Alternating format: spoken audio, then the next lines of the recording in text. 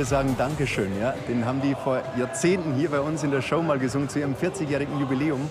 Und plötzlich geht das Ding durch die Decke. Ich habe sowas auch zu Flippers Zeit noch nicht erlebt.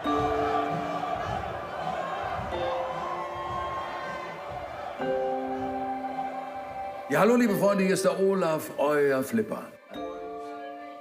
Dieser Mann, der hat nie die Haftung zur Erde verloren. Das ist, und das ist nicht einfach. Das könnte auch mein Nachbar sein, mit dem ich irgendwie Best Friends bin und eine Nachbarschaftsfreundschaft führe.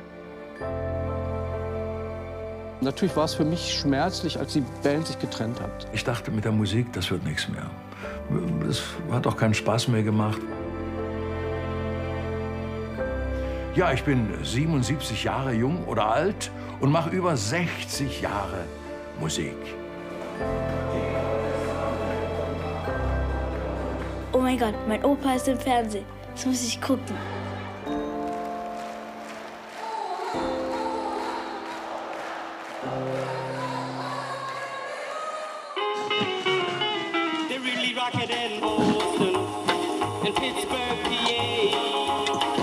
In the heart of Texas and round the Frisco Bay. Rock'n'Roll, das ist ja auch so ein bisschen mein Leben. Wir haben das ja mein ganzes Leben lang gespielt. Ja. Auf meinem letzten Album, äh, das zehnte Soloalbum, Dankeschön, ist, glaube ich, eine, ein Lied drauf. Und zwar, du hast mir den Rock'n'Roll beigebracht. Also, Weltklasse Nummer, gell? Auf der Bühne ist alles ganz einfach. Da sind die Fans da, da geht es richtig ab hier zur Sache. Aber so diese Autofahrt, wenn man so nach, nach Norden fährt, so an die Nord- oder Ostsee, oh, so 600 Kilometer, das ist dann schon so anstrengend.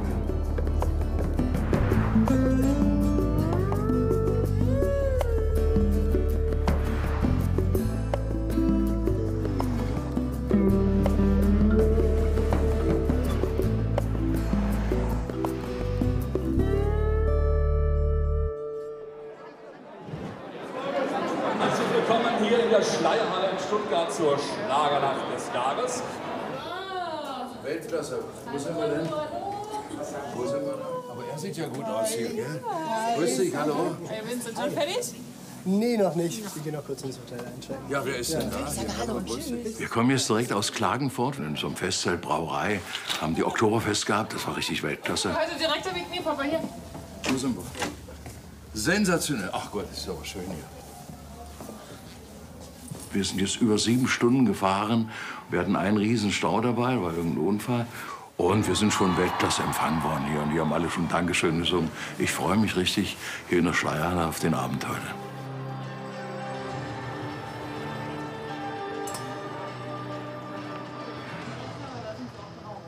Also wir haben ja jetzt gerade relativ viel.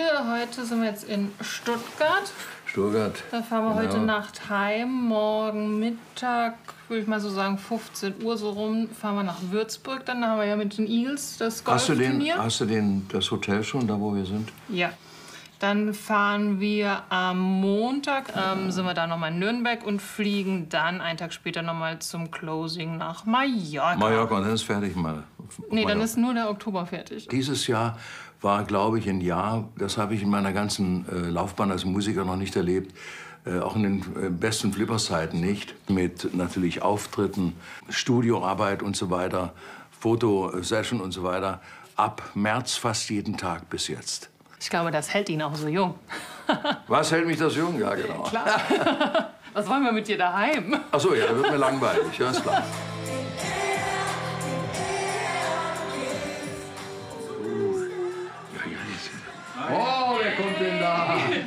Hallo. Na, alles gut? Kannst du alle Texte? Hallo, meine Engel. So, so, guck mal, Zorro. Habt ihr mit immer. Mein Sohn. Ah Gott, wirst du immer größer oder ich kleiner? Du? Schon schon, aber. Wollen wir es mal, dass der Opa rockt? Hm? Ja. Ich freue mich so für ihn, dass dieser Hype jetzt mit diesem Wir sagen Dankeschön nochmal gekommen ist, weil ich einfach finde, es ist, wie soll ich sagen, das ist, ähm, ja, nochmal sein Lebenswerk, was er immer gemacht hat, das ist, wird jetzt äh, honoriert, ja, und das, ich, ich finde es einfach richtig toll für ihn und ähm, ja, das ist mega. Ah, jetzt gibt's Kaffee, schau hier. Also ich höre ganz andere Richtung. Ich höre mehr Hardrock. Also ich habe, also ich finde die Musik nicht schlecht. Also ich könnte sie auch anhören. Bloß ich höre hauptsächlich so Hardrock. Ich glaube, da war ich 16 oder 15.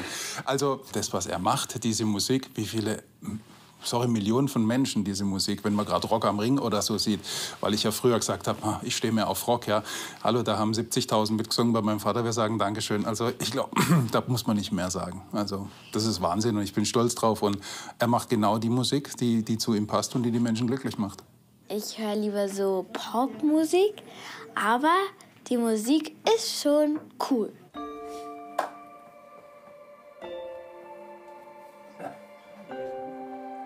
Zeig nochmal.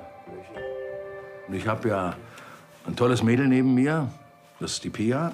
Und dann natürlich noch eine, das ist meine liebe Frau Sonja. Die gucken natürlich, dass der Olaf das alles richtig macht. Immer Luft anhalten. Oh. Ich muss sagen, ich bin richtig dankbar, dass ich sowas noch erleben darf mit 77. Es sind manchmal so, so viele Fans, die da sind. Das berührt mich jedes Mal neu, das muss ich ja sagen. Und äh, ich habe einen großen Respekt vor meinem Beruf und äh, nehme es auch ernst. Bye, bye.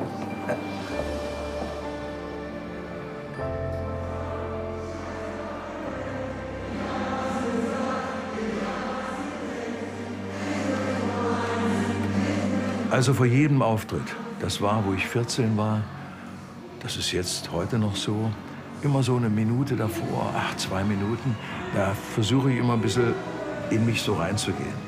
Und versuche, ey, die Texte noch mal durchzugehen. Aber das ist, das ist sehr schwierig, weil ich weiß, man, plötzlich hat man einen Aussetzer und dann weiß man nicht mehr, wie es weitergeht. Und ich höre die Leute, wie die schon Gas geben. Und, und irgendwann denke ich mir und sage, ist doch auch egal. Dann versinkst du dich halt. Es ist halt live. Das ist das Leben so. Man kann nicht immer perfekt sein.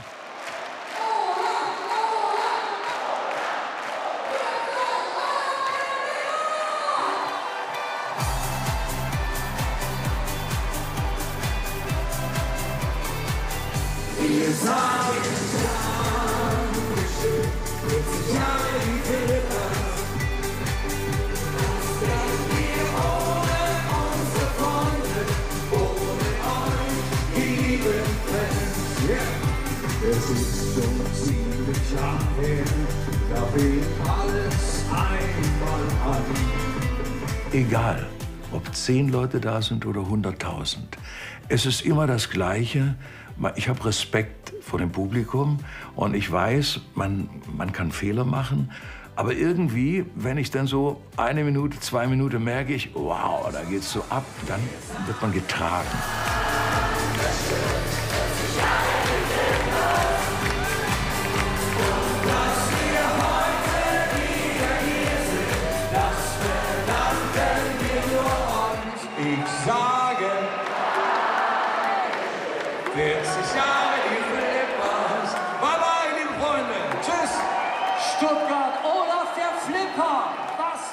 Show. Was eine Jetzt muss ich erst mal runterkommen. Jetzt muss ich runterkommen. Erst mal so. Klasse. Ja.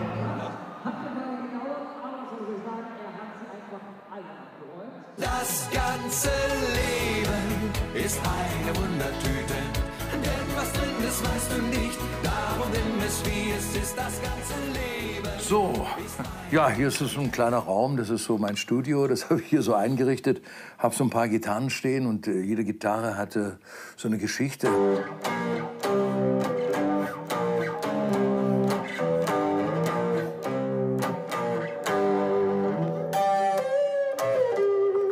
Ja, ich habe so, äh, da war ich so 15, ja, 15, 16, da habe ich ähm, Fenster geputzt, so in den, in den Ferien Fenster geputzt. Und von dem Geld habe ich mir dann meine erste, also richtig tolle Gitarre, und das war natürlich eine Stratocaster. Das war ein Türöffner, die Gitarre, dass ich eine Fender-Gitarre, also aktuelle amtliche Gitarre, hatte und einen Verstärker.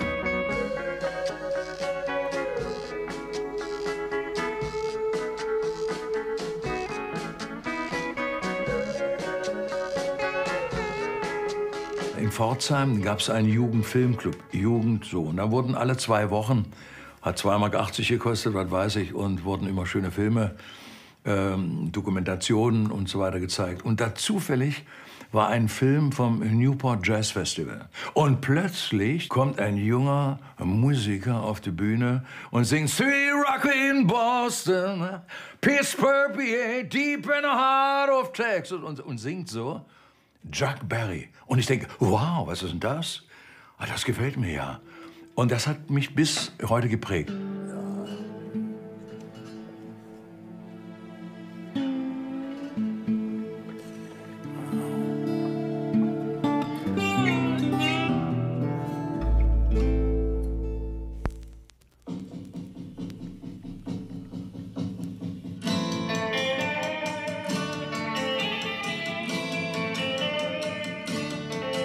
War, glaube ich, meine erste Musik, die ich gehört habe. Es war 1960, äh, 62. Und ja, so, das war meine erste Gitarrennummer, die ich so gespielt habe.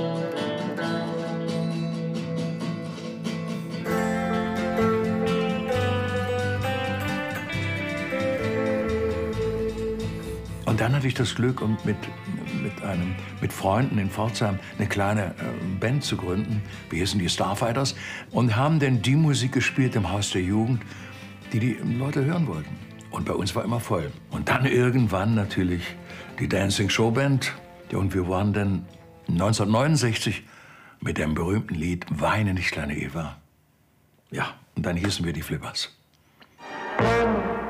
Ja, Freunde, es ist soweit. Der Schlager des Monats Oktober steht fest. Deutlich an der Spitze in der Schlagerskala Weine nicht, kleine Eva. Von und mit den Flippers. Ich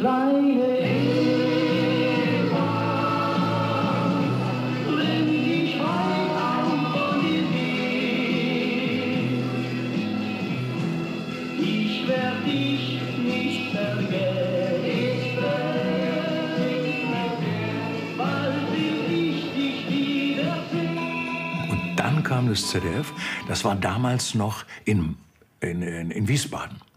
So. Und dann haben wir da gesungen und äh, dann sagte der damals, das war ach, Biolek. Der war damals der, der Re Redakteur. Er sagte, oh, das ist ja der Wahnsinn. Flippers, die müssen zwei Wochen später wieder in die Sendung. Und da haben wir nochmal äh, gesungen. Und, äh, und, und, und so ging das dann los.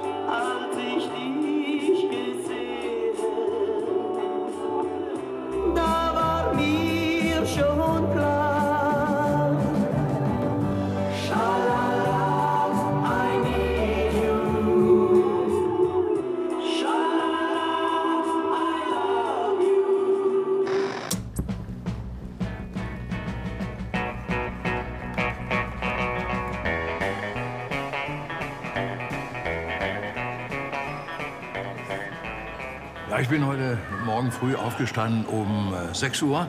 Oh, es war sehr früh, ich bin aber früh ins Bett. Und wir fliegen jetzt natürlich nach Mallorca und heute Abend dann so 20, 30, 21 Uhr ist ein Auftritt im Megapark. Da warten die Fans schon, ich freue mich drauf.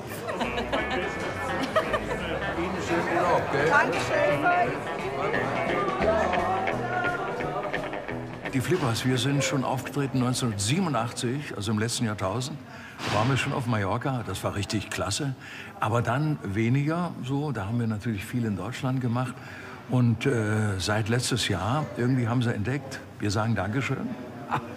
Und das geht ja ab jetzt, das ist der Wahnsinn. Im Prinzip könnte ich jeden Tag da spielen, aber so viel Zeit habe ich ja nicht.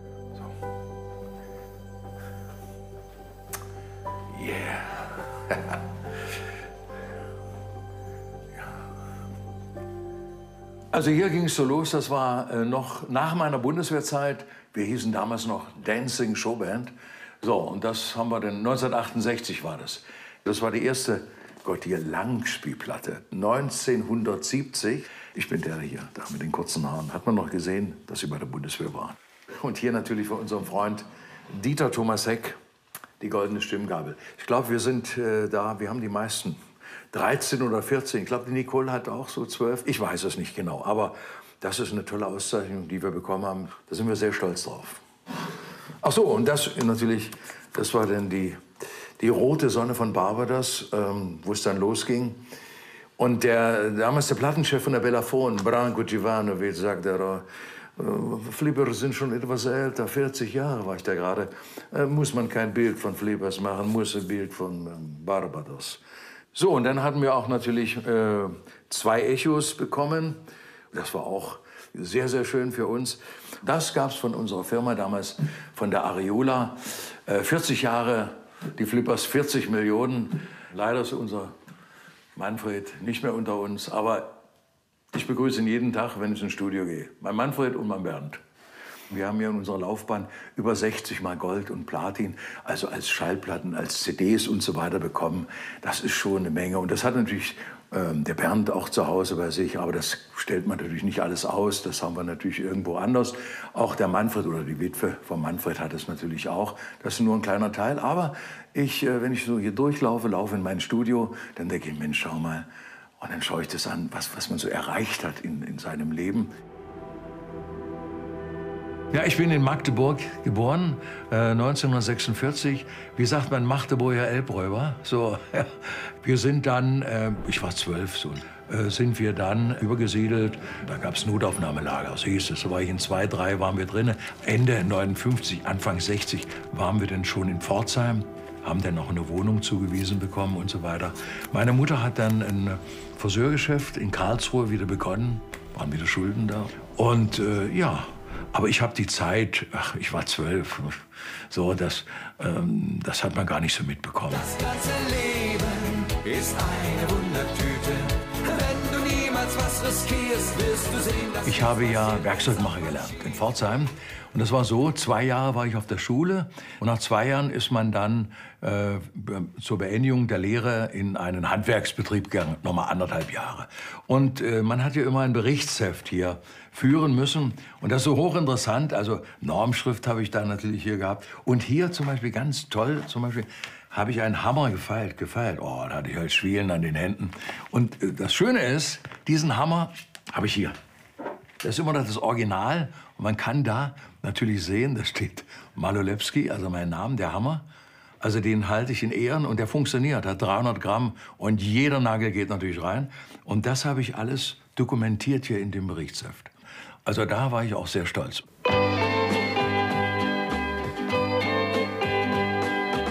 Bist du mal traurig und weißt nicht wohin, komm durch meine Tür. Ich kann mich sehr gut erinnern, das war in Frankfurt in einer Schule, ich glaube Gymnasium war es. Du alle Sorgen vergessen wirst. Mich würde interessieren, was Sie mit Ihrer Musik äh, erreichen wollen. Das ist unser äh, Beruf. Wir machen diese Musik aus Freude, klar, und anderen Leuten, denen wir ebenfalls damit eine Freude bereiten. So ist das Dufte, ja. Man hat zu mir gesagt, ey Olaf, du musst jetzt antworten, du sprichst Hochdeutsch. So, oh Gott, dann habe ich halt, also wenn ich das jetzt so sehe, dann denke ich, oh Gott, jetzt würde ich mich auch anders ausdrücken. Es war ein bisschen aufgesetzt, wie ich gesprochen habe. Ja, mich würde interessieren, stehen Sie äh, hinter dieser Musik oder gibt es eine Musikrichtung, die Sie lieber machen würden? Wir Ja, machen also- auch äh, Titel fürs Fernsehen, wo wir auch äh, Titel von Deep Purple spielen und so weiter, ja. Aber mit dieser Musik, die Sie eben gehört haben, ja, diese steht uns am besten, sagen wir, und die gefällt uns. Meine Meinung ist ja so, im Prinzip ist alles Schlager. Äh, Es gibt ja Leute, die sagen, nee, das ist Pop, ich bin Popsängerin oder Sänger und so weiter. Ich sage immer, der Schlager äh, ist die populärste Musik weltweit. Wenn ich zum Beispiel Stevie Wonder höre, I just call to say I love you. Naja, das ist ja ganz klar. Ich rufe an und sage, ich liebe dich. Bon Jovi, Bed of Roses. Eine wunderbare Schnulze kann man sich gar nicht vorstellen. Das ist ein wunderschöner Schlager.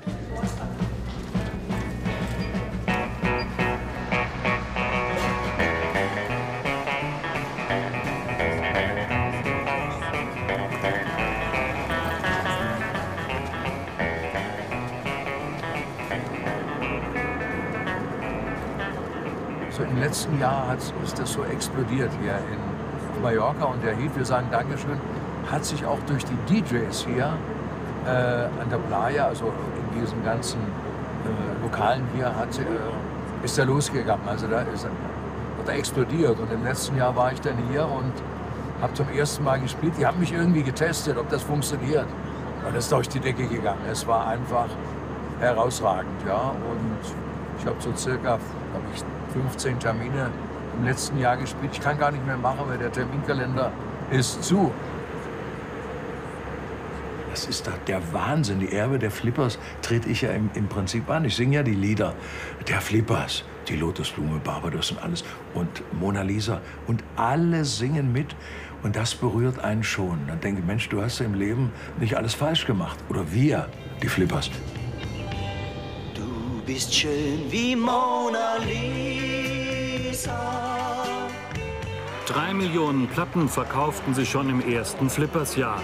Dem deutschen Schlager sind sie dann immer treu geblieben, auch in den Zeiten, als ihre Scheiben in den Regalen der Geschäfte verstaubten, sie ihre Kohle als Stimmungskanonen in Festzelten verdienten und die Band zum Trio schrumpfte. Lass ich dich auch mal allein. Da hat es an allem gefehlt. Äh, Wir haben schöne Lieder gehabt, aber so der Durchbruch war nicht da. Und dann muss man sagen, die ZDF-Hitparade, die hat damals mit Dieter Thomas Heck nur Einzelkünstler gehabt. Da waren keine Gruppen drin. Ja? Also wir hatten diese Kontakte nicht. Vielleicht hatten wir auch die richtigen Lieder nicht. Wir, haben gesucht, wir haben gesucht. Wir, wir, haben ja, wir, wir haben ja alles gespielt, aber woran es liegt, weiß niemand.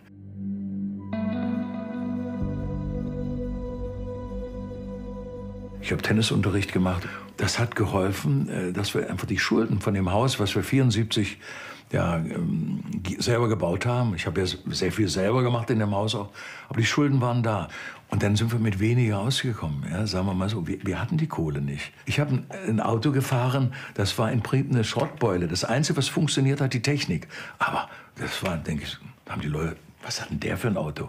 Und dann kam der Svenja 74, als wir da eingezogen sind, auch noch zur Welt. Ja, der musste ja warm haben.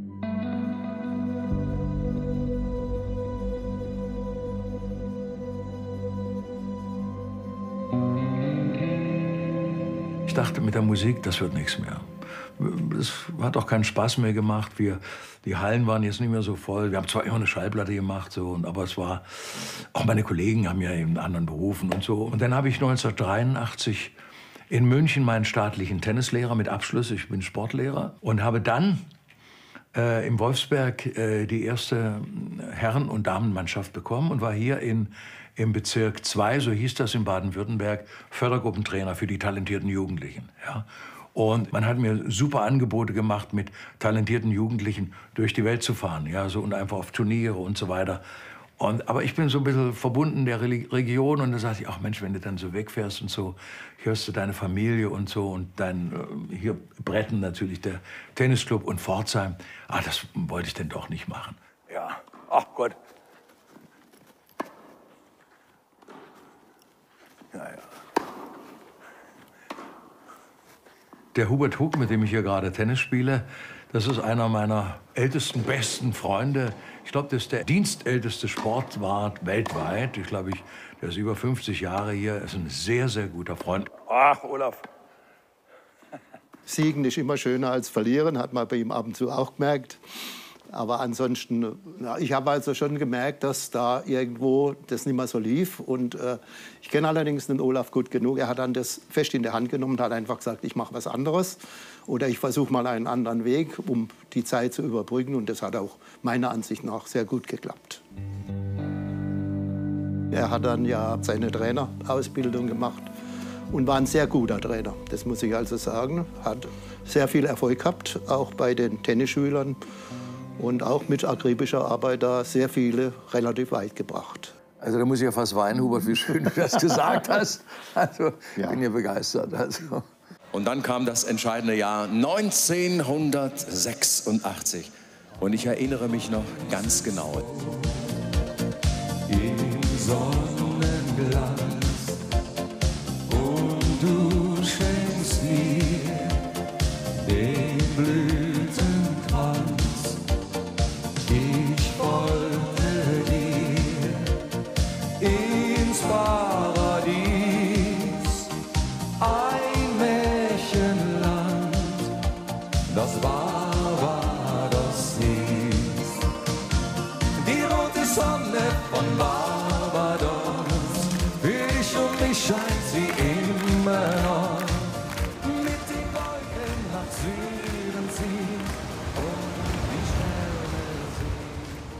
hallo Olaf. Uwe, ja, was ist denn da los? Mensch, komm, lass dich umarmen hier. Sehr, lange nicht gesehen, gell? Ja. So, wunderbar. Freu mich, sehr schön. Siehst gut aus. Du auch. Das ist mein Freund Uwe Busse. Und wir haben beide gemeinsam, also natürlich nicht nur wir beide, sondern mit den Flippers, glaube ich, ab 1985 zusammengearbeitet.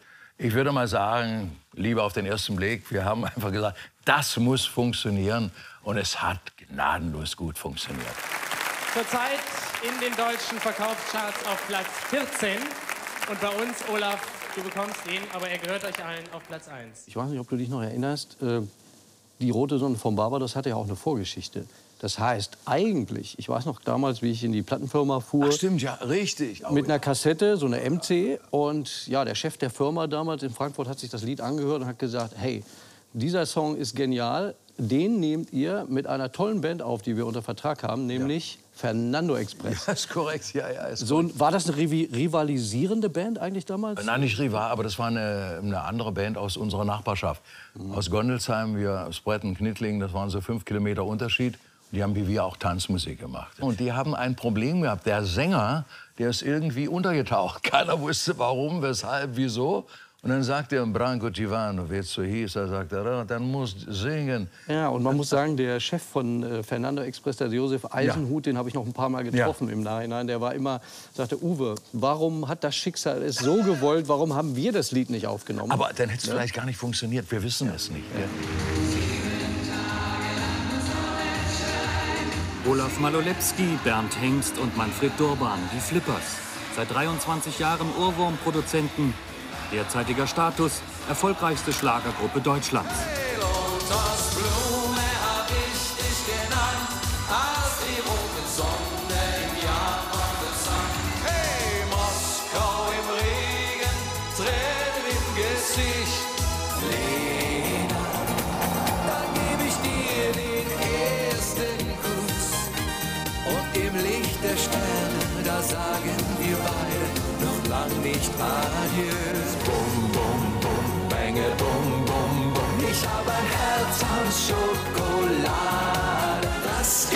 ganze Leben ist eine Wundertüte.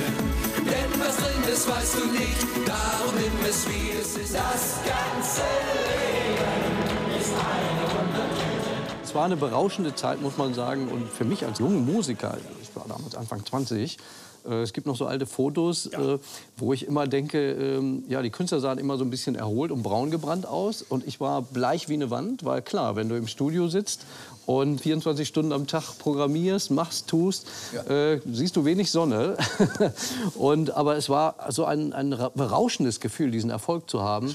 Äh, ich kann mich erinnern, bei uns gab es ein Volksfest, da kam so eine Kapelle, auf einem, eine Blaskapelle auf einem Wagen durchs Dorf und die spielten. Das war also berauschend, diese Melodie, die man kreiert hat, äh, plötzlich auf allen Festen und überall zu hören. Das ganze Leben ist eine Wundertüte. Ein äh, Tenniskamerad hat mir das, mit dem ich in der Mannschaft gespielt habe im TC Wolfsberg, der hat der hat eine kleine äh, Schmuckfabrik vom Feinsten. Und der sagt, Mensch, Olaf, du hast dich so engagiert für den Sport, für den Tennissport. Du hast äh, mitgearbeitet, hast gespielt, bist tausende Kilometer gefahren für uns. Und äh, das ist ein Geschenk zum 50. Geburtstag, einen vergoldeten Delfin. Also der ist jetzt äh, nicht Pyrrhus Gold, da würde ich ja so runterfallen immer. Also leicht vergoldet. Und das ist ein Talisman. Den habe ich immer an. Man muss etwas zurückgeben. Ich habe so viel Glück im Leben gehabt und habe eine tolle Familie, gesunde Kinder und, und ich mache das gerne und solange ich gesund bin, mache ich das. Ja, wir sind in Main-Sondheim, das ist ein Eagles Golfturnier. Ja, und es ist ein tolles Wetter, also 4 Grad, glaube ich, plus äh, haben wir. Also, also ich bin warm angezogen, aber die Hände sind kalt. Wir sind hier ein Charity Golf äh, Club und da wird immer sehr viel Geld gespendet, die für die Menschen, die unverschuldet in Not geraten sind, äh, wird das gespendet. Und da sind wir natürlich die Eagles äh, dabei und die Freunde der Eagles und das macht natürlich sehr viel Spaß.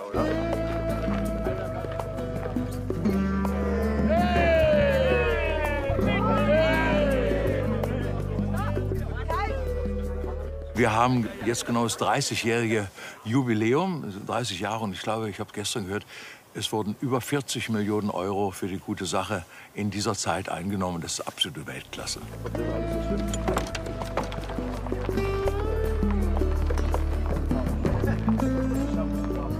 Bin ich ja, das ist aber ein ganz tolles Jugendfoto. Gell? Ich weiß, glaube ich, noch das erste Mal, wo er dann bei uns dabei war, haben wir gedacht, oh, boah.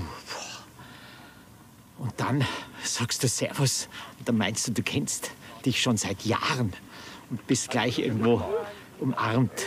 Alles Weltklasse, ja? Alles Weltklasse. Und das ist eine Eigenschaft, die nur die ganz Großen haben. Das habe ich schon oft erlebt. Da könnt ihr den Uwe Seeler, den Fritz Walter, da könnt ihr den Max Schmeling, ich gehe jetzt mal in meine Zeit, oder den Franz Beckenbauer nehmen. Das sind alles solche, die sind immer geerdet geblieben und äh, wissen von der Basis und nehmen sich nicht selber zu wichtig.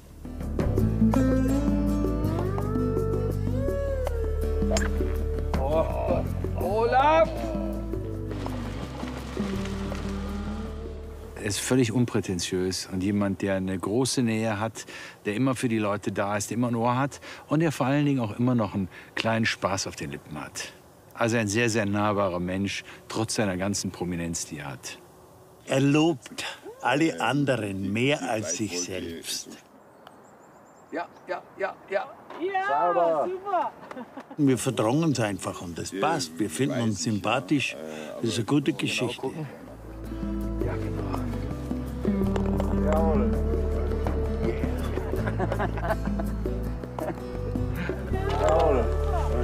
Yeah. Schon der Gedanke, dass ich dich einmal verlieren könnte, dass dich ein anderer Mann einmal sein eigen nennt. Also sag mal, ihr drei habt wirklich alles erreicht. Wovon träumt ihr noch? Ja, Florian, wir drei, wir haben 40 Jahre lang einen Traum gelebt. Florian, wir haben heute ein Statement abzugeben. Und zwar, wir haben es uns lange überlegt, haben es uns nicht leicht gemacht. Aber heute Abend möchten wir bekannt geben, dass unsere nächste Tournee unsere Abschiedstournee ist. Naja, also unser Abschieds, es ist so, wir haben etliche Gläser Wein getrunken. Es ging monatelang die Diskussion. Da hat der Bernd angesagt, na ja, er wird sich mit seinen Enkelkindern und so beschäftigen. Und er hatte zwei süße Enkelkinder und so weiter. Der Manfred sagte, oh, ich werde Route 66, Motorrad mit Freunden und so weiter. Leider kam es ja nicht mehr so dazu. Und ich habe gesagt, ich weiß auch nicht so, aber ich werde Musik immer in meinem Leben machen. Musik ist mein Leben. Und äh, ja, aber so keiner wusste so recht. Also ich wusste nicht, wie es weitergeht. Herzlich willkommen. Danke. Dr. Bionek.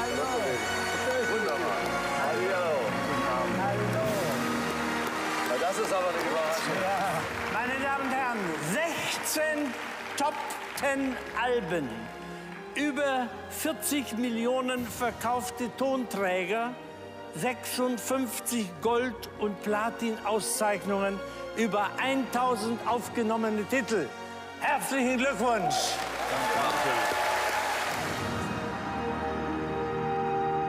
Natürlich beim Flori eine Weltklasse-Sendung. Da waren viele Künstler, die wirklich Anteilnahme, ich habe Tränen in den Augen gehabt. Es war, es war, es war wirklich schön. Bleibt für immer in unseren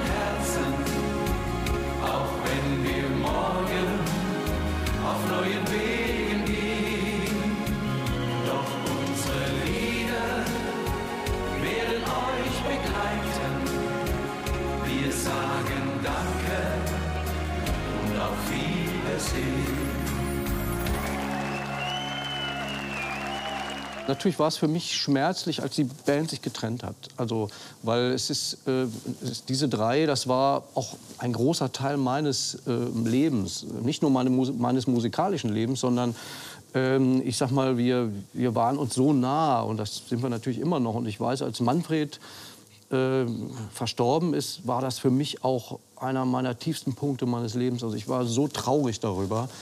Und äh, man kennt es von internationalen großen Bands. Wenn Bands sich trennen, ist manchmal der Mythos auch weg. Und ich habe äh, schon beobachtet, habe gedacht, hey, wie wird es weitergehen? Ja, und dann sitze ich da, habe mal so zu Hause mit meiner lieben Frau Kaffee getrunken. Und dann sage ich, du, Sonja, was machen wir denn? Und da sagte meine Frau, weißt du, du bist Musiker, du gehörst auf die Bühne. Du sagst, wo es hingeht und ich pack die Koffer. Da habe ich Tränen in den Augen gehabt. Und deswegen bin ich jetzt ja noch auf der Bühne. Den kann man nicht bremsen. Der ist einfach immer agil, immer in, sagt man da, immer 180. nee, es war mir schon klar, dass er irgendwas machen möchte. Tausend rote Rosen für deine Liebe, tausend rote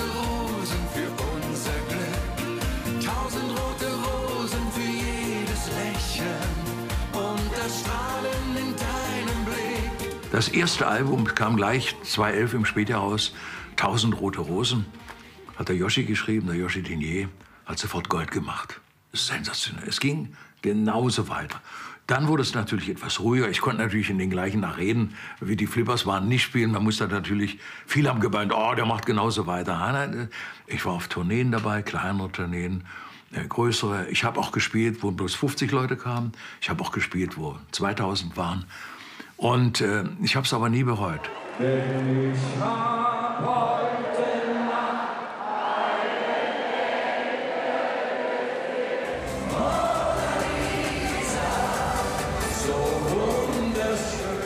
Das ist die Melanie. Ja? Die habe ich zum ersten Mal mit ihrer Mutter zusammen in Oberhausen gesehen. Die war ganz, vielleicht 12, 13. Und hat mit großen, strahlenden Augen uns angeschaut. Ja, und seitdem ja, kommt sie regelmäßig, über 40 Jahre schon. Mit den Flippers hat's ja alles angefangen bei uns. Ohne die Flippers wird's den Olaf ja nicht geben. Und wir waren natürlich mega traurig, als die Flippers dann ihr Ende verkündet haben. Und äh, umso glücklicher, dass der Olaf weitermacht. Das ist mein Olaf-Tattoo. Ich habe mir ähm, aus meinem Lieblingslied Die rote Sonne von Barbados ein, eine Textzeile ausgesucht und habe den Olaf gebeten, mir die aufzuschreiben. Und der Tätowierer meines Vertrauens hat es mir dann unter die Haut gemacht. Eigentlich war schon immer der Olaf der Favorit. Ähm, ja, der Olaf hat einfach eine sehr lockere Art. Der ist äh, mega nett zu den Fans und ähm, man unterhält sich gerne mit ihm. Er hat immer irgendwas zu erzählen und man hört ihm einfach gerne zu. Und dann kam die, die Pandemie. Dann wurde ja alles in Deutschland alles ein bisschen runtergefahren und so weiter. Und dann haben wir auch überlegt, ja, was machen wir jetzt? Ich glaube, jetzt hören wir auf. Und dann, wie die Jungfrau zum Kind, muss man ja sagen, sagt meine Tochter, du Papa, wir spielen da oben an der Nordsee. Da kommen Fangruppen, die wollen Dankeschön hören. Da habe ich gesagt, das kann ich mir nicht vorstellen. Mensch, das haben wir zu unserem 40 Jahren Jubiläum gespielt, vor zehn Jahren und so. Und dann komme ich da hoch. Ich habe sowas noch gar nicht erlebt. Schon in der Ortschaft, wenn ich gelaufen bin, die Jugendgruppen, die singen, wir sagen Danke. Und ich denke, wow. Dann gehe ich abends auf die Bühne, gefühlt tausendmal habe ich es gesungen. Es war großartig. Dankeschön, 40 Jahre die Flippers. Ich habe sowas auch zu Flippers Zeit noch nicht erlebt. Ich habe das mit einem DJ Jerome im letzten Jahr aufgenommen. Und das Lied ist gar nicht mehr wegzudenken.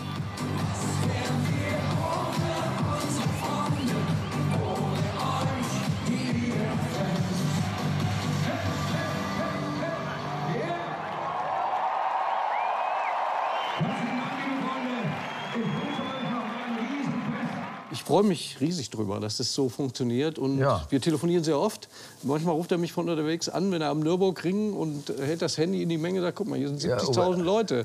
Ich denke, wow, das ist äh, dann sag ich, großartig. Uwe, schau mal hin, guck mal. Die Leute brauchen Musik. Geh mal in den Keller und schreib was. Ja, dann, ja, auch.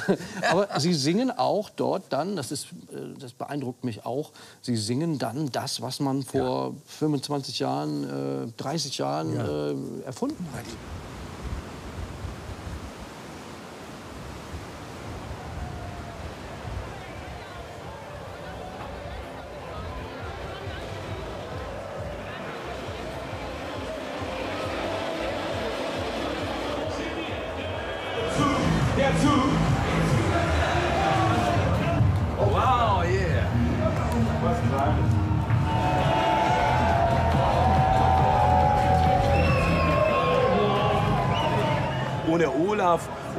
Carbondale, ohne Roland Kaiser, ohne diese Großen der Szene, würde es ja mich gar nicht geben, würde es Mickey Krause gar nicht geben, würde es das alles hier nicht geben. Deswegen ist er für mich der größte Gewinn in, äh, in dieser Saison, Olaf der Flipper.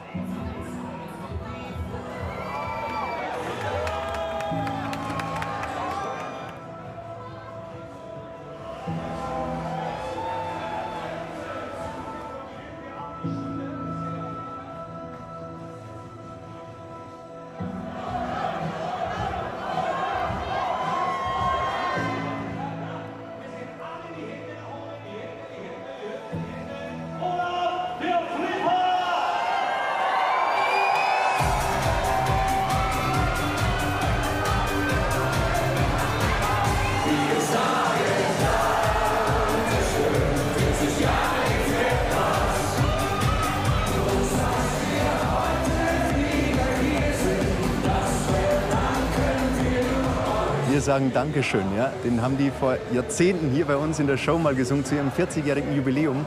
Und plötzlich geht das Ding durch die Decke. Heute steht der mit 77 auf äh, sämtlichen großen Bühnen.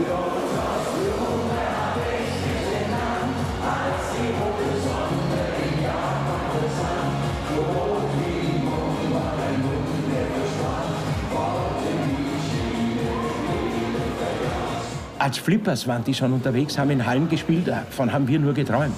Und dann er jetzt alleine, also das ist, und das Schöne an dieser ganzen Geschichte, dass er es weiß Gott verdient hat.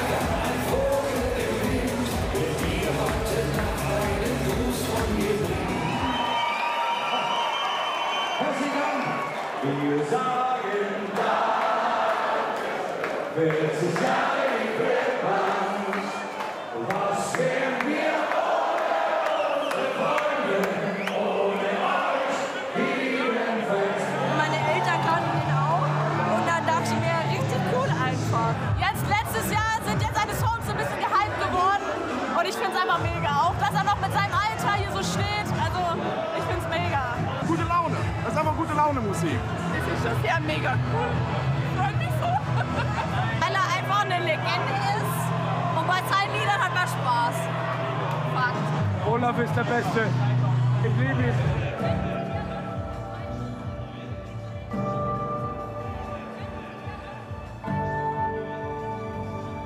Das war 69, das sagst du, oder? Da habt ihr aber komische Fusionen gehabt. Das war Du auch. Nee, also, also. Man zieht die Kraft aus der kleinsten Zelle der Demokratie, das ist die Familie. Und, äh, und die belügen einen nie. Nie. Enkelkinder, meine Frau, Schwiegertochter, mein Sohn, meine Tochter, die sagen, Papa, so, die meinen es immer gut. Das ist das Wichtigste. Also am Samstag, hier, bei beide Olaf und, wir. Ja, ja. Alter, meines Frühjahr ist ja Weltklasse voll. Samstagtermin, nächstes Jahr geht schon. Äh, ruhig, was mache ich dann, wenn es ruhig ist? Man hat natürlich viele Ideen, ähm, musikalische. Ich habe also tolle Sachen, äh, wo, wo ich jetzt wieder ähm, gesammelt habe. Viele Autoren schicken mir natürlich Lieder.